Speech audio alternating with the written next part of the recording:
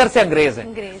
और अपने आप को अंग्रेज़ों के गुलाम इस तरह समझते हैं कि पाकिस्तान की पार्लियामेंट का वाक्य है। कोई बहुत बड़ा वाक्य नहीं है कि हमारी नेशनल असेंबली के स्पीकर ने चंद साल पहले जब मलका पाकिस्तान आई तो नेशनल असेंबली के स्पीकर ने नेशनल असेंबली में खड़े होकर उनको मुखातिब करके कहा कि we are still your loyal subjects हम अभी तक आपके वफादार गुलाम हैं।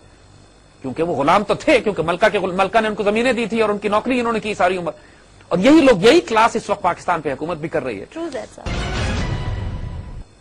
तो ये उन्होंने कहा कि मदरसों में और दरसगाहों में दीन का इल्म खत्म कर दिया जाएगा अंग्रेज़ी और अंग्रेज़ी की। तालीम शुरू हो जाएगी फिर कहते हैं अच्छा फिर उसके बाद ये वाकया अब this is exactly the time कि जब 1857 के बाद मुसलमानों को भी इंकरेज किया गया कि आप अंग्रेज़ी तालीम हासिल कीजिए एजुकेशन अंग्रेज़ी तालीम में जाइए। बड़ा कॉन्फ्लिक्ट डेवलप हुआ था मुसलमानों ज़ाहिर है मुसलमानों में भी क्लासेस बन गई थी थी वो कि एक जो हमारे। ओरिएंटल क्लास थी जो हमारे उलमा स्कॉलर्स थे उन्होंने पहले रजिस्ट किया अंग्रेज़ी तालीम को अपने मदरसे बनाए बड़े बड़े मदरसे बने उस वक्त के जो दीन की तालीम को और मुसलमानों ने घर में अरबी और फारसी पढ़ाने का बंदोबस्त किया कि हमारे बच्चे अपने दीन से बेगाना नहीं हो जाए।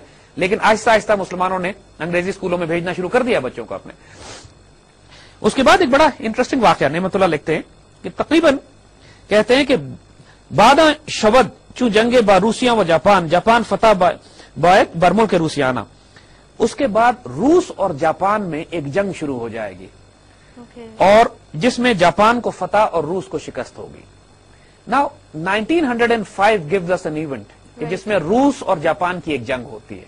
यानी ये वाकयात जिनका आप ज़िक्र कर रहे हैं अगर सीक्वेंस आप बिल्ड करें तो ये 1857 के बाद जिस तरह मुसलमानों की तालीमी निज़ाम खत्म किया गया अंग्रेज़ी तालीम आई उसके बाद. तो अगर आप सीक्वेंस ऑफ़ इवेंट बिल्ड करें तो ज़ाहिर है इन्होंने तारीख नहीं लिखी कि किस तारीख में ये होगा। फॉलो करें लेकिन वही बात जैसे हमने कही कि हम जब इवेंट्स को बिल्ड करते हैं जब मुख्तलिफ़ अशार हमने लेके सीक्वेंस ऑफ़ हिस्ट्री बिल्ड किया तो उसमें 1905 में हमें ये वाकया मिलता है कि रूस और जापान की एक जंग होती है और एक एक खुरेज जंग दोनों मुल्कों के दरमियान हुई।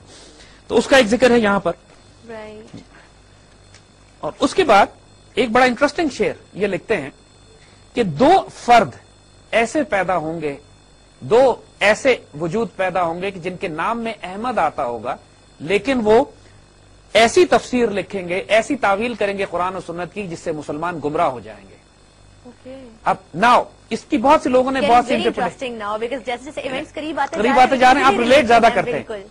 एक आदमी के बारे में तो कोई डाउट नहीं है। मिर्ज़ा गुलाम अहमद कादियान ऑब्वियसली यानी उसके बारे में तो उसने जिस तरह नबूत का दावा किया और जो तफसीर लिखी और जो हालात उसने बनाए उसमें तो पूरी मुसलमान उम्मत मुतफिक है कि उन्होंने जिस तरह गुमराह किया मुसलमानों की सफों में लोगों को। इन्होंने दो आदमियों का ज़िक्र किया। अब दूसरा आई के नॉट नेम बिकॉज़ ज़ाहिर है हर कोई अपने अपने मसलक के इख्तलाफ की वजह से किसी न किसी का नाम लेने की कोशिश करेगा क्योंकि लेकिन उम्मत का इजमा नहीं है। उम्मत की कलेक्टिव उसके ऊपर कोई राय नहीं है. कि दूसरा अहमद जिसके नाम में अहमद आता है वो कौन हो सका जो इस दौर में पैदा हुआ है जिसने लोगों को गुमराह किया है। वो नियर फ्यूचर नहीं हमारा ख्याल है कि हो चुका है वो। लेकिन क्योंकि ये जो इवेंट्स हैं लेकिन कम अज कम एक जिसके नाम में अहमद आता है गुलाम अहमद कादियानी जो है वो तो 50% वो तो हो फिर दूसरा भी कोई होगा यानी बहुत से लोगों ने गुमराह किया इसमें ऐसी बात नहीं है। तो फिर एक बड़ा इंटरेस्टिंग क्योंकि गुलाम अहमद कादियानी ने 1901 वगैरह के आसपास में ये चूँकि वो ये वो पीरियड्स हैं जो, रूस और चीन की- रूस और जापान की जंग की भी बात कर रहे हैं। सेंचुरी शुरू हो गई है। और 19 यानी बीसवीं सदी ट्वेंटी सेंचुरी शुरू हो चुकी है।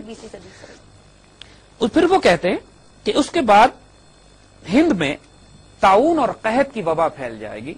प्लेग और कहत फैलेगा और बहुत ज़्यादा मुसलमान उसकी वजह से मौत के मुँह में चले जाएँगे। ताउन के हवाले से और प्लेग के हवाले से कुदरतुल्ला शहाब ने भी अपनी किताब शहाबनामा में ज़िक्र किया है। कि इस बीसवीं सदी के शुरू में इंडिया में बहुत बड़ा प्लेग आया था। बिल्कुल बिल्कुल। यानी इसमें 1896 में 1914 में और 1897 1901 ये सारे जो पीरियड शुरू के हैं इनमें बहुत बड़ा कहत नाजिल हुआ था हिंदुस्तान में और हज़ारों लाखों लोगों की जाने गई थी। शाहबनामा में इसका पूरा तफसीली. ज़िक्र भी है।